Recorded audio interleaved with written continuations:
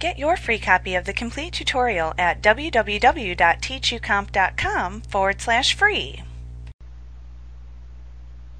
The select statement, which is also often called the case statement, is another statement which evaluates multiple possible conditions and returns an output based on which condition evaluates to true.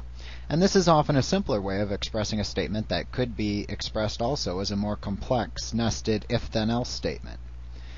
For example, in the last lesson, we looked at creating a if-then-else statement that evaluated whether the amount of a sale was at a gold, silver, or bronze level based on the amount of the sale. And if the sale was less than or equal to $500, it was bronze. If it was $501 up to $1,000, it was silver. And if it was over $1,000, it was called gold. A more succinct way of writing that might have been using the select case statement. To do that, you would just choose the formula field and then click New in the Field Explorer toolbar and give the formula a name. So we're going to call it sales status, which we called the last one. And then click Use Editor.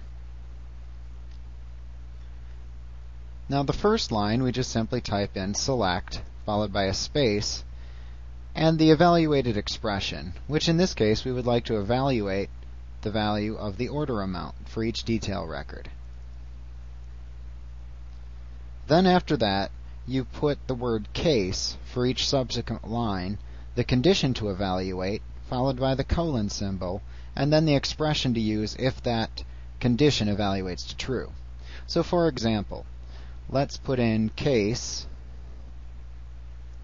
also, if you want to use comparison operators for your condition, you need to specify the word is followed by a space and then the desired comparison operator.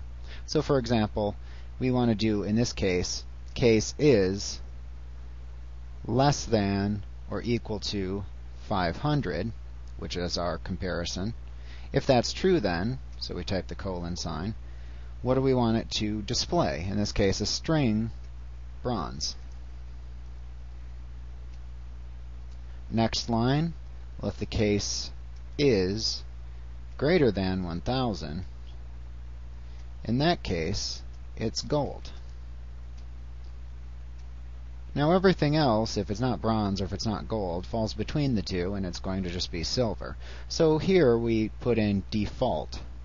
And default is just the expression that you want as the default if the evaluated condition doesn't match any of the listed cases. Once again, check your syntax, save and close the formula, and note that when we add it into our report, it'll function the same way the last more complex if-then-else statement did.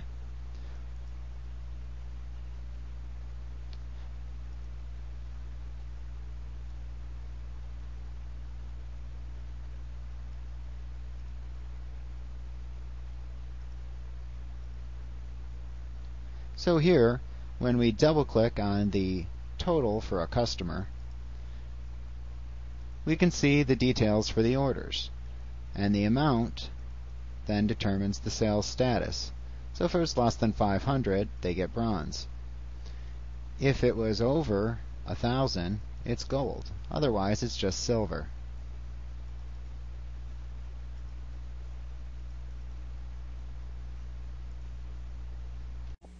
Like what you see? Pick up your free copy of the complete tutorial at www.teachucomp.com forward slash free.